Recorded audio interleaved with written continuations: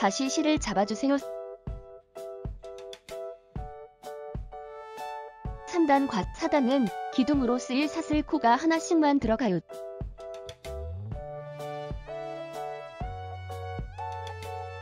접코에 핀을 집어주세요.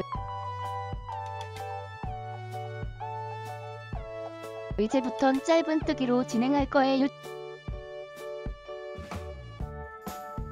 찔러서 한 가닥 깨주고 감아서 남은 두 가닥을 빼주세요.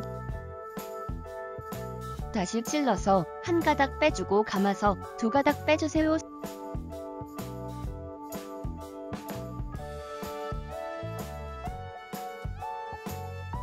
세 번째 짧은 뜨기입니다. 계속해서 보여드릴 테니 천천히 보면서 따라 해보세요.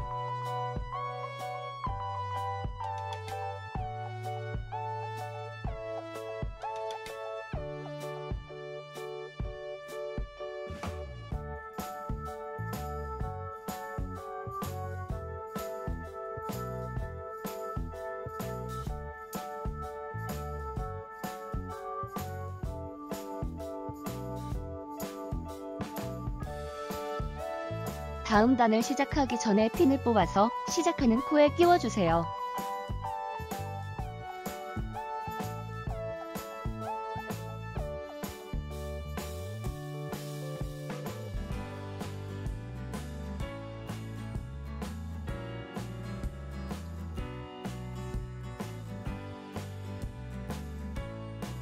똑같이 24코를 떠줄게요.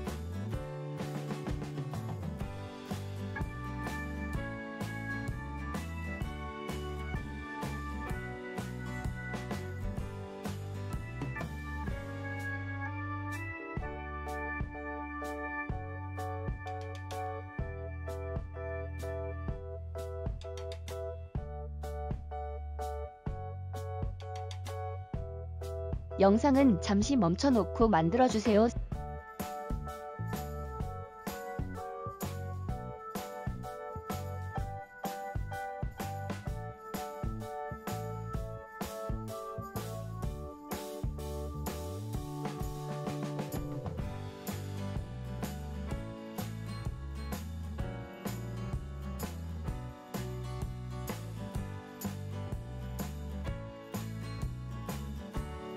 마물레 코가 완성되었으면 다시 세어보고 빼뜨기로 마무리해주세요.